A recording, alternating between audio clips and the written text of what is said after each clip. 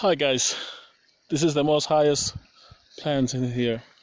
See, this is a fern tree, only found in Habbema Lake region, and then Trikora Peak.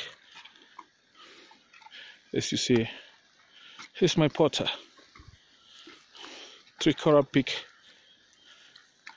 expedition.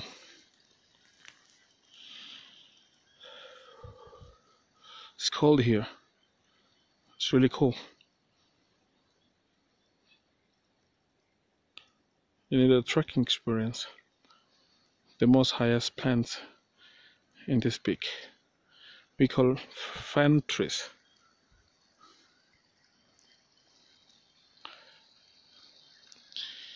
If you want to know more, go and visit www.trekpapua.com dotcom